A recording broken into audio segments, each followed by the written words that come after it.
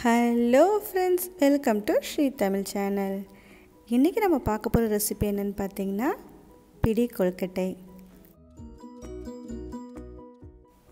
கடையில் வாங்கின அரிசி மாவை பயன்படுத்தி ரொம்ப சுலபமாக நல்ல சாஃப்டான இனிப்பு பிடி கொழுக்கட்டை எப்படி செய்யலாம் தான் இன்றைக்கி நம்ம பார்க்க போகிறோம்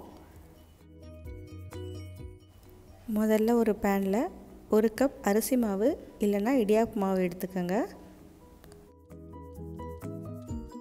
அடுப்பை லோ ஃப்ளேமில் வச்சு மாவு நல்லா சூடு வர மாதிரி ஒரு அஞ்சு நிமிஷத்துக்கு இதை வறுத்து எடுத்துக்கோங்க.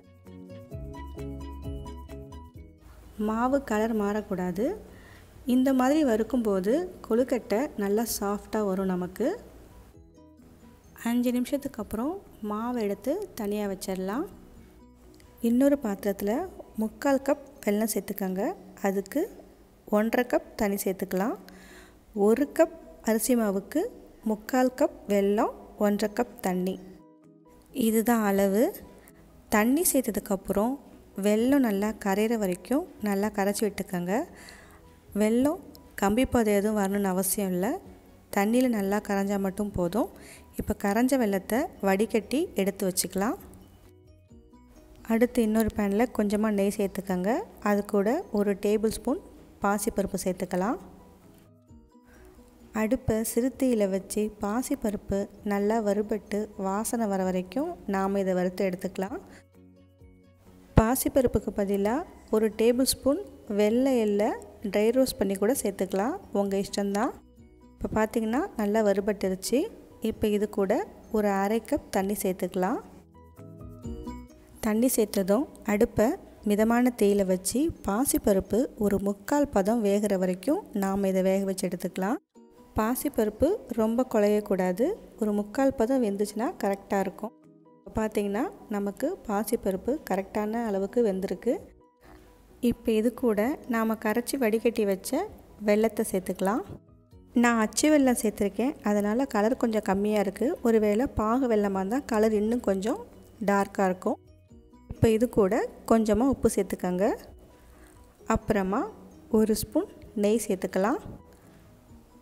வாசனைக்காக கொஞ்சமாக ஏலக்காய் தூள் சேர்த்துக்கோங்க.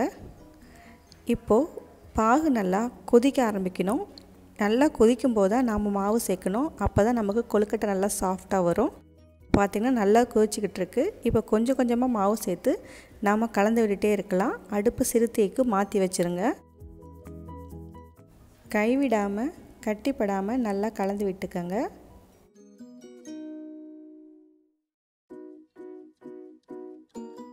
தண்ணியெல்லாம் குறைஞ்சி போய் மாவு நல்லா சாஃப்டாக கொழுக்கட்டை பிடிக்கிற அளவுக்கு வந்திருக்கும். இப்போ நம்ம ஸ்டவ்வை ஆஃப் பண்ணிவிட்டு அது கூட ஒரு கால் கப் தேங்காய் துருவல் சேர்த்துக்கலாம். தேங்காய் துருவலுக்கு பதிலாக சின்ன சின்னதாக கட் பண்ண தேங்காய் கூட சேர்த்துக்கலாம். அது உங்கள் இஷ்டம்தான். இப்போ இது எல்லாத்தையும் சேர்த்து ஒரு முறை நல்லா கலந்து விட்டுக்கோங்க. கொஞ்சம் லேசாக ஆறட்டும்.